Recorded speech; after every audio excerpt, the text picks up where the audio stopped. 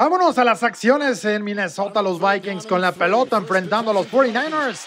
Y Sam Darnold con el balón que quería correr por su vida y movía las cadenas. En la tercera oportunidad ponía el primer y 10 para que la ofensiva siguiera su marcha. Después venía la pichada, cortaba y antes Aaron Jones conseguía una buena ganancia con el segundo esfuerzo, 9 para poner segunda y corto. Eventualmente, el ataque de los Vikings iba a estar cerca de medio campo con tercera oportunidad y 10. Sin corredor atrás para Sam Darnold. ¿Qué iba a hacer? Aguantaba, esperaba el pase en el centro, era incompleto. Fred Warner estaba presente para desviar el balón y le decía tranquilo.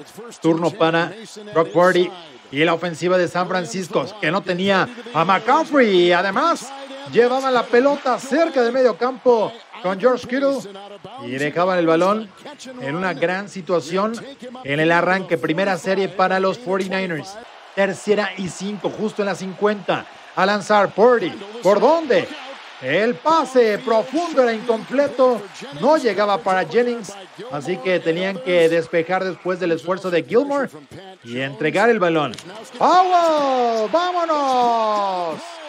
Y ahí andaban los equipos especiales bloqueándole la patada. Sensacional. Y sí, Gion Jackson. Luego, primera oportunidad. Ahí, ahí desde la 24, el pase al flat y buscando la pantalla. Había bloqueos. Aaron Jones acelerando. Tenía la primera oportunidad y gol. Tírenme las cadenas. El ataque de los Vikings con tercera y gol. Clave aquí. El pase. Darnold aguantando el balón. Buscaba el receptor. El pase era incompleto. Rompía la jugada. Gran esfuerzo. Deporte, deporte de Adam.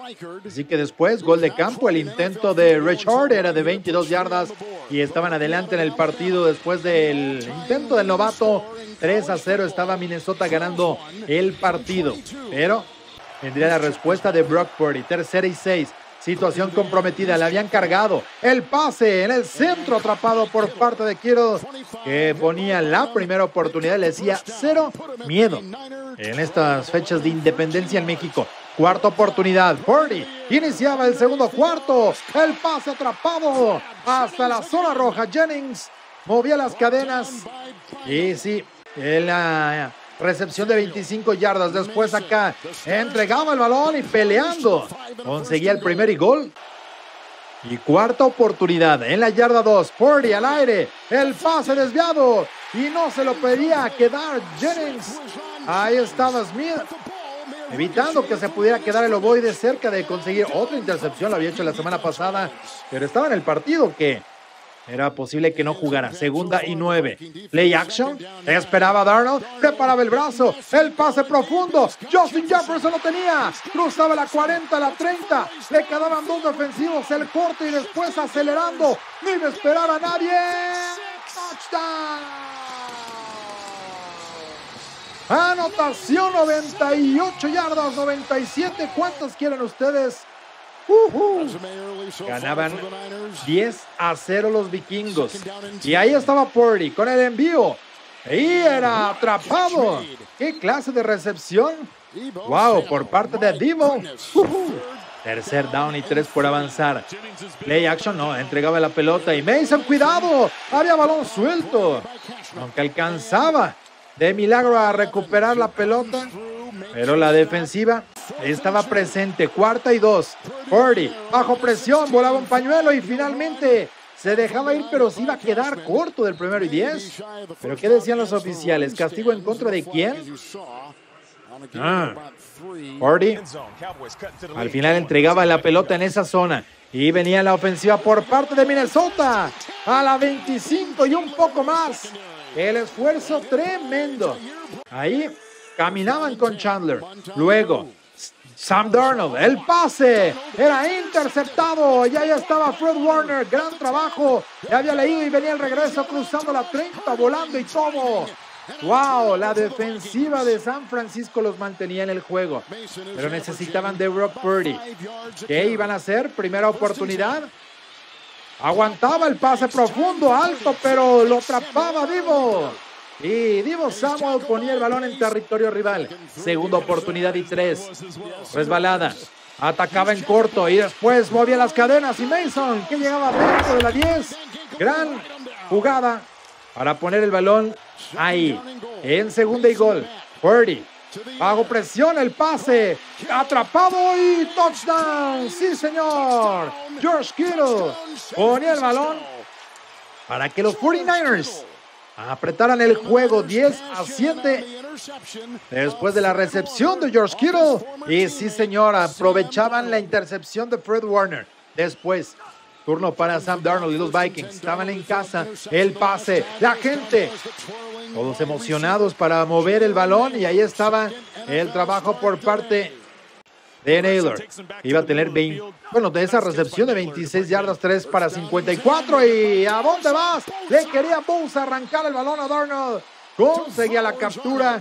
Decía, perdónenme, pero pues quería la paleta. Tercera oportunidad y 13 a lanzar el pase con un riflazo completo. Y Jefferson se quedaba con el balón 11 segundos para acabar la primera mitad. Se acababa el tiempo, después se abría el espacio. Ya a correr, tenía el balón hasta la yarda 20. Se deslizaba y quemaba en el último tiempo fuera. Y ahí estaba Richard para buscar gol de campo de 39 yardas gracias al esfuerzo de Darnold. Que iba a ser que efectivo o no. El intento cómodo de 39 yardas era bueno. Estaban con Will Richard Adelante en el partido 13 a 7, pero no tan grave para los 49ers. Ahí andaba Trent Williams, que necesitaba cubrir la espalda. Purdy con tiempo. ¿Para dónde? No había nada por el centro. Se acomodaba el pase. Atrapado dos pies adentro. Y Kyle con un gran trabajo para quedarse con el balón. Y ahí andaban, tercera y once. ¿A dónde vas? A ningún lado. Baja, le decían a Brock Purdy y Jones con otra captura, la tercera para en la campaña.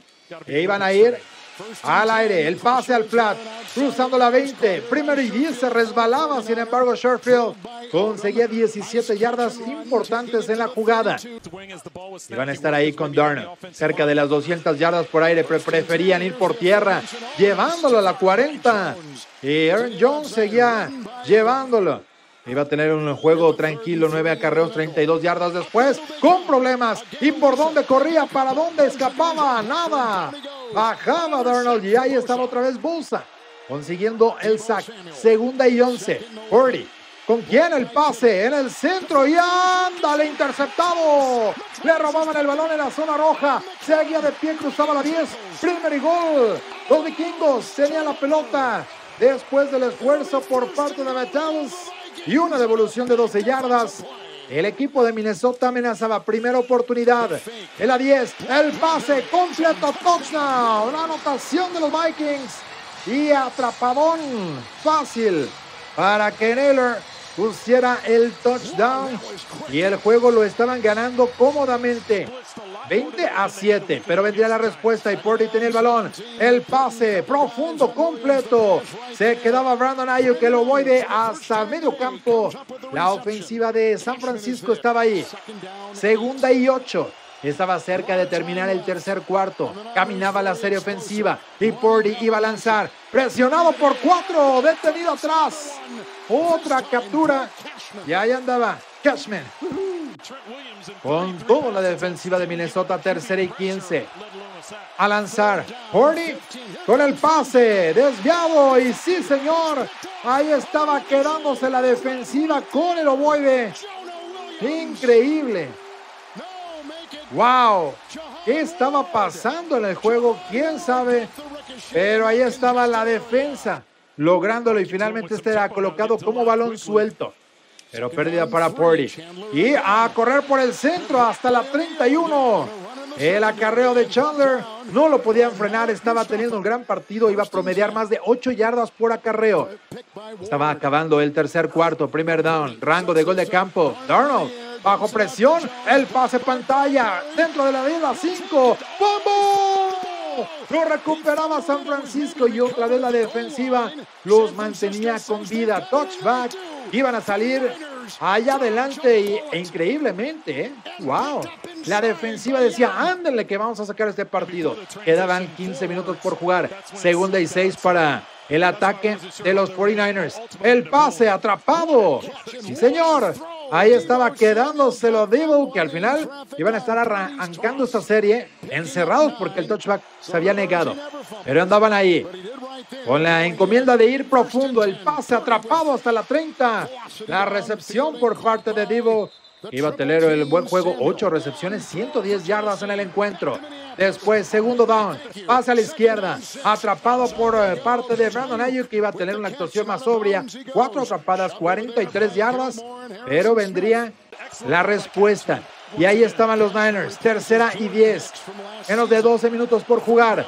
A ir profundo, el pase por el lado derecho lo tenía Killer y movía las cadenas en una crucial tercera oportunidad. Seguía la ofensiva de los 49ers, pero véngase para acá, compadre. Decían a Vaino. Segunda y 10. Purdy, paciente, se le acababa el espacio. ¿Por dónde iba a construir? El envío. Ah, sí, señor. Pegado a la banda. Y se quedaba Samuel del balón. Le iban a lanzar la pelota a él 10 ocasiones en el partido. Segunda y 4. Carrera por el lado derecho. Y ahí estaba Mason. Cruzaba las 5. Touchdown.